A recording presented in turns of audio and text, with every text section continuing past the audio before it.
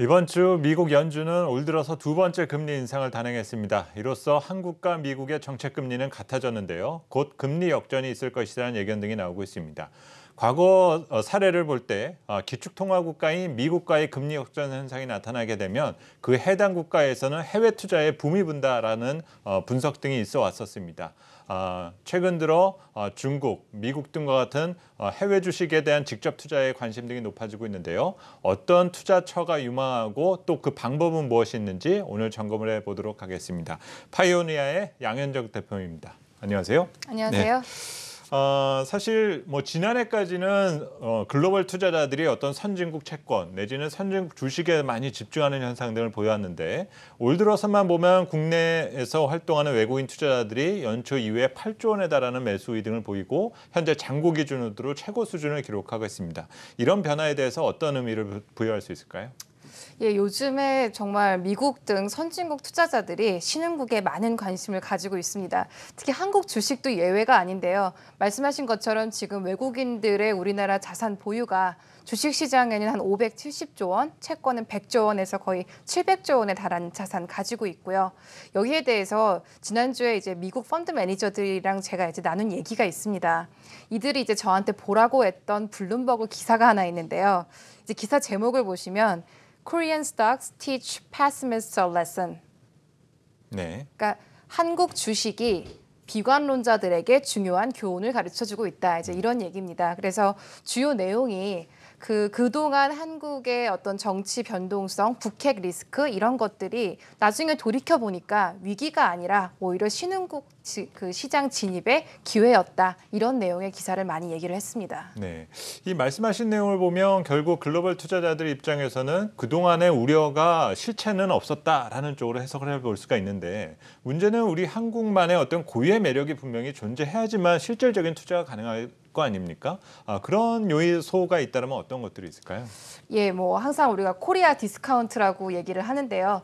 그 코리아 디스카운트가 예전에는 북핵 문제를 많이 얘기를 했었고 최근 들어와서는 대기업의 지배 구조 문제를 많이 지적을 했습니다. 그런데 이 지금 신정부가 들어오면서 이 두 가지 문제에 대해서 혹시, 혹시 해결이 될 수도 있지 않겠느냐라는 기대감이 좀 광범위하게 퍼져 있고요. 이런 긍정적인 전망을 좀 많이 보여준 레포트들이 최근에 발표가 됐는데 일례로 이제 모건 스탠리의 레포트를 보시면 이번 주에 이제 얘기한 것이 한국 주식이 현재 다른 신흥국에 비해서 25% 정도 저평가돼 있고 따라서 2018년까지 35% 상승할 전망을 한다라고 좀 다소 공격적인 얘기도 했습니다. 네. 이 문제는 그동안 그 박스 피해 갇혔던 국내 증시가 그만큼 소외되었기 때문에 이런 의견이 나온 것은 아닌가라는 어, 생각도 좀 들고요. 또 아직 우리 경제가 갖고 있는 여러 가지 고질적 병폐와 문제점도 분명히 상존에 어, 잠재되어 있는 것만은 분명히 맞는 것 같거든요. 다소 좀 우려의 시각이 있다면 어떤 것들이 지적되는지도 들어볼까요? 예, 그 지난주에 이제 뉴욕에서 Emerging Market Trade Association이라는 신흥국에 주로 투자하는 펀드 매니저들은 한국 증시에 대해서 좀 부정적인 얘기들도 많이 했습니다. 몇 가지 인용을 해보면요. 어, 한국은 언뜻 보기엔 삼성전자 같은 이런 amazing한 회사들이 있고 또 아주 교육을 잘 받은 hyper educated 된 인력들이 많지만 기업의 지배 구조 문제 그리고 내수 부진이라는 고치기 힘든 과제가 많다. 또 높은 수출 의존도와 북한 등의 지정학적인 위험도 여전히 존재한다. 이런 부정적인 시각도 분명히 있었습니다. 네, 상당히 어떤 낙관적인 의견과 또 비관적인 의견 등이 상당히 팽팽하게 대립하고 어느 쪽에 맞다라고 우리가 어, 손을 들어주기에는 조금 어려운 부분이 있지 않을까 하는 생각이 드는데요. 결과론적으로 보면 아직까지는 외국인 투자자들은 매수 우위 상태에 있습니다. 그러면 앞으로도 외국인 투자자들이 한국 주식을 더 사지는 않을까 이 전망도 한번 내려봤으면 좋겠는데요. 예. 어, 저는 좀 계속 될 걸로 봅니다. 한동안은. 왜냐하면요. 지금 그 글로벌 투자자들이 신흥국 투자를 할 때 보는 기준이 있는데 첫째는 경제 지표, 즉 펀더멘털이 개선 추세에 있어야 되고요. 두 번째는 진입 기회가 있어야 됩니다. 근데 지금 우리나라 지표가 그렇게 나쁘지가 않고 수출이나 경제 성장률이 전망치가 상향되고 있죠. 그리고 새 정부 출범에 대한 기대감을 진입 기회로 해석을 한다면 당분간은 좀 유입이 계속될 수 있지 않을까 이렇게 전망하고 있습니다. 네.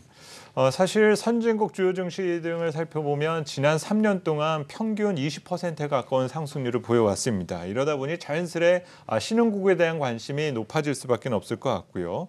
아, 문제는 한국의 그런 어떤 관심 영역의 중심에 있다라면 한국뿐만이 아니라 다른 어떤 신흥국에 대해서도 분명히 관심을 두지 않을까 하는 생각이 들어요. 그걸 좀 어, 미리 알아둔다라면은 어, 한국도 어, 어떤 향후 변화되는 어떤 경제 환경 속 에서 이 투자 매력이 유지가 되는지 그렇지 않은지에 대한 판단이 가능할 것 같은데요.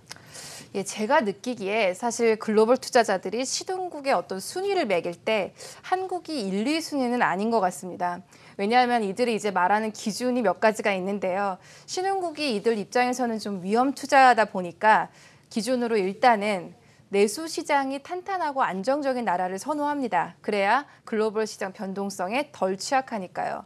그리고 또 지정학적 위험이 없는 나라를 선호하는데 사실 우리나라는 수출 의존도도 높고 북핵 문제도 있기 때문에 이런 기준에 아주 부합하는 나라는 사실은 아니죠. 네, 그렇다면 그런 기준에 맞는 나라를 찾아볼 수 있을까요?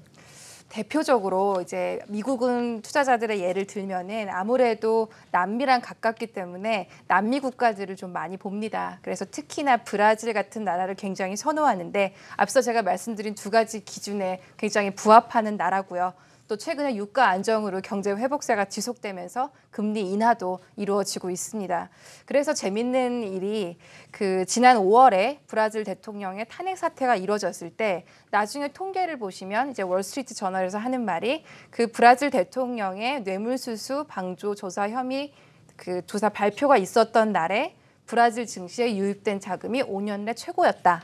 즉 이런 브라질 그 시장의 일시적인 조정을 기회로 보고 있는 투자자들이 그만큼 많다는 반증인 것 같습니다. 네, 이 지난해까지 경기 침체 늪에 빠져 있었던 브라질과 러시아 등에 대한 어떤 회복세가 어떤 투자 매력의 하나의 기준으로서 어떤 시장에 언급되는 점 등을 그대로 어, 확인할 수 있는 부분인 것 같습니다. 우리나라에는 조금 덜 알려져 있지만 글로벌 투자자 관점에서 매력적인 대상이다라고 꼽는 국가가 있다면 또 어떤 나라가 있을까요?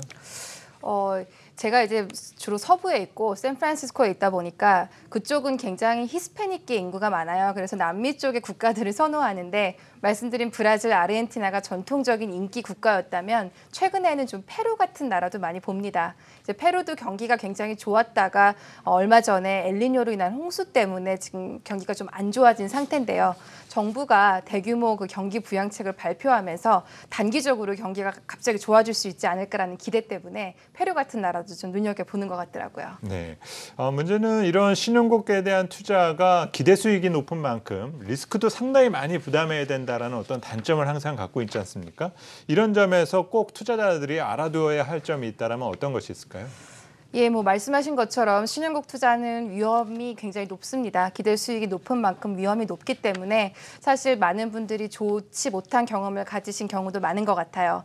그러니까 금융위기 전에도 중국 펀드의 붐이 일었었지만 그 이후에 또 많은 손실이 있었고 그 이전으로 돌아가더라도 뭐 닷컴 버블이라든지 IMF처럼 신흥국에서 위기가 발생한 역사는 수도 없이 찾아볼 수 있습니다. 따라서 이런 기대 수익률을 높게 생각하실 때는 변동성이 높다는 사실도 분명히 염두에 두셔야 될 것 같습니다. 네.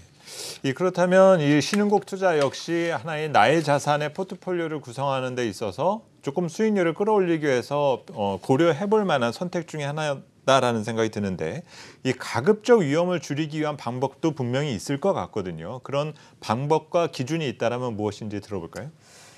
예, 그 글로벌하게 대규모 자산 운용사들 같은 경우에 신흥국에 진입을 할 때 주식보다는 채권을 먼저 좀 보는 경향이 있습니다. 아무래도 주식보다 좀 안정적이고 고정 수입도 있기 때문이죠. 그래서 일례로 최근에 이제 베네수엘라 같은 나라들도 그 어떤 경제 위기를 겪고 있는데요. 여기서 골드만삭스가 매입한 것도 베네수엘라의 국영 석유 기업의 채권이었습니다. 그래서 일단 채권 투자를 통해서 좀 덜 위험한 자산에 투자를 해보고 그 다음에 위험 자산으로 확대해가는 방식을 많이 사용하는 것 같아요. 네.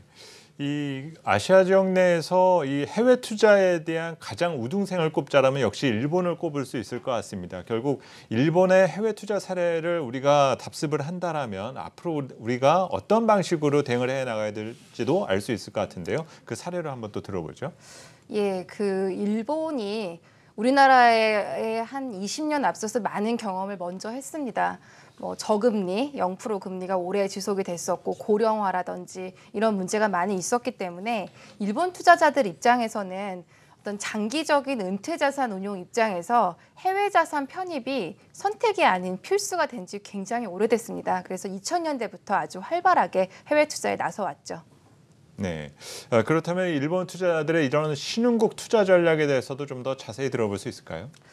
예, 일본 투자자들도 사실 2000년대 초에 해외 투자 붐이 일어날 때만 해도 주로 선진국에 투자를 했습니다. 당시에는 선진국의 증시나 채권도 수익률이 괜찮았기 때문에 그쪽으로 투자를 하다가 금융위기 이후에는 사실 선진국의 주식, 채권 이런 모든 것들이 저금리가 되면서 이제 신흥국으로 눈을 돌리기 시작했죠. 그래서 이들이 많이 산 것이 고금리였던 브라질 채권이고요. 현재도 일본 투자자들의 해외 채권 보유액의 한 절반 정도가 브라질이라고 지금 파악을 하고 있습니다. 네.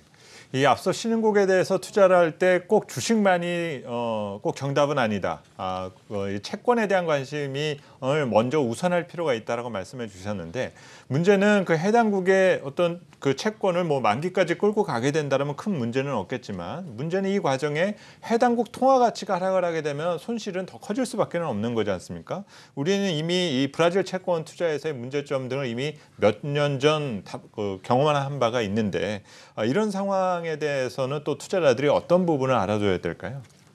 예, 외환 위험은 굉장히 중요합니다. 왜냐하면 브라질을 예를 들자면 지금 금리가 10%지만 헤어라 가치 10% 증락 자주 합니다, 사실.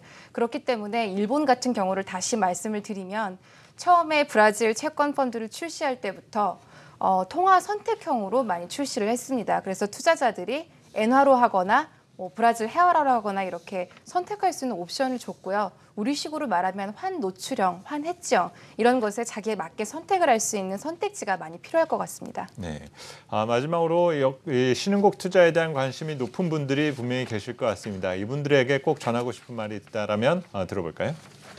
예, 말씀드린 것처럼 신흥국 투자는 기대 수익률도 굉장히 높지만 마찬가지로 변동성이 높은 투자입니다. 그래서 반드시 장기 투자를 하라고 말씀을 드리고 싶은데요. 보통 해외 투자자들도 신흥국에 들어갈 때는 5년 이상을 봅니다. 그래야 그 중간에 있는 금리 시장과 주식 시장, 외환 시장의 변동성을 견딜 수 있기 때문이죠. 그래서 이걸 투자 용어로 딥포켓이라고 표현을 하는데요. 그만큼 주머니가 깊어야 사실 어떤 변동이 있고 손실이 있는 걸 견딜 수 있다는 의미에서 사용을 하고요. 신흥국 투자에 나서려는 투자자들이라면 주머니를 깊게 해서 이런 롤러코스터 같은 변동성 견딜 수 있어야 할 것 같습니다. 네. 이 해외 투자와 관련된 다양한 얘기를 들을 수 있었던 시간인 것 같습니다. 지금까지 파이오니아 대표 아, 양현정 대표와 함께 얘기 나눠봤습니다. 오늘 말씀 잘 들었습니다. 감사합니다.